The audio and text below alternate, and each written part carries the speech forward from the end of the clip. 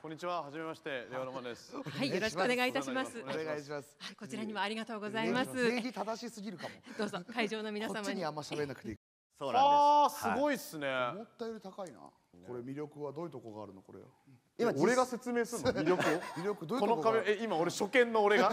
突然？どういうとこが魅力いや、でも、やっぱ、あの、あれですよね。あの、やっぱ河合俊一さんとかも伸び伸びと暮らせるっていうところ。背高い人出さなくていいよ。八村塁さんとかも伸び伸び暮らせるっていうところですよね。まあそういうとこではあるんだけどね。それでは僕が車に向けて考えたお家はこちらです。こちらですうん野球すぎるだろ、俺の家。こんな野球、俺。車の野球が大好きなんです好きですけど野球大好きで特に DNA ベイスターズベイスターズファンなんですよベイスターズ推しなんですよね。はい、ベイスターズファンでしてちょっとベイスターズの、えーまあ、グッズもあしらってますしなんといってもこのダイヤモンド型のラグといいますかね。ラグとかいうレベルじゃねえじゃん。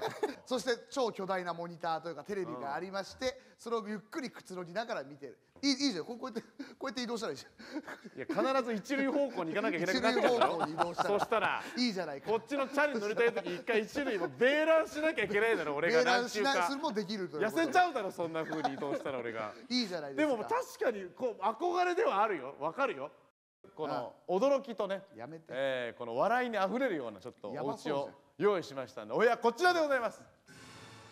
はいということでね良さそうじゃねえか俺良さそうじゃねえどうですかこ おい。猫と戯れる面白ハウス面白とかじゃないから。え？全然いい家だから。全然いい。僕猫飼ってるし。猫をね飼ってる猫飼ってて猫好きだから。ちょっとだから猫がこのあちこち動き回れるようにということでもうキャットウォーク。キャットウォーカーの憧れでしょ猫飼いにとって。すごいよこれ。だってやっぱこのマンションとかじゃねめちゃくちゃ難しいし、ね、絶対無理でしょ。うん。ここ猫に没頭できるお部屋？いやめちゃくちゃいいよ。いいじゃない賞金とかでは厳しいですかね？M1 の賞金だと。賞ちょっともうちょっと。ああグレードによっては可能かえも。もう2回優勝したら二回優勝したらもう確実絶対優勝しようぜ今年マジ。で家買おうぜ2人で1個の家。二人で一個でいいんだえマジで建てようぜ二人で一個。趣味なんかそういうことそういうのの意味わけですよね。そうです趣味というかセそうですね。カンドハウスセカンドなハウス。セカンドハウスもいいんだから。確かに俺らの秘密基地みたいに。そう。猫と野球のさ家建てます珍しい家猫なんか。猫と猫と猫野球が軸の家。肉の家ね。えめっちゃ楽しそう。めちゃくちゃいい。そそのためにも M1 頑張りましょう。れ頑張りますはい。はい